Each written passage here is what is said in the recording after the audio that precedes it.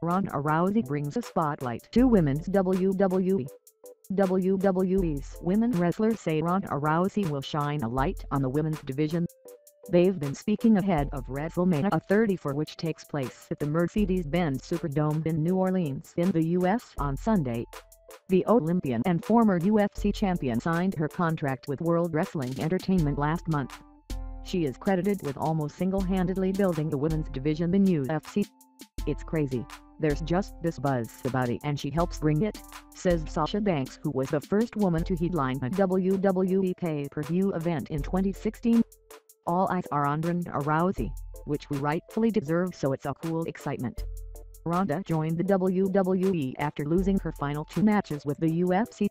She has previously defended the bantamweight title six times to keep hold of it for almost three years. I think that's wonderful, Irish wrestler Becky Lynch tells BBC Radio 1 Extra Ace, because it brings such a spotlight to the women's division and to the company in general. She goes on to say that Ronda understands what this business takes, adding, that will get you everywhere.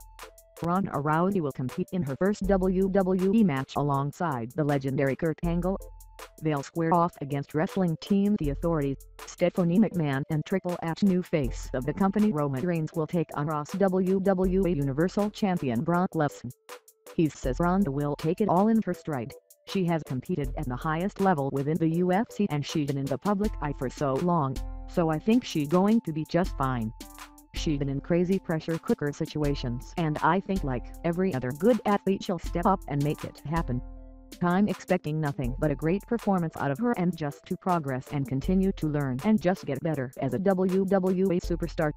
WrestleMania 34 gets underway from 7 p.m. local time and from midnight in the UK.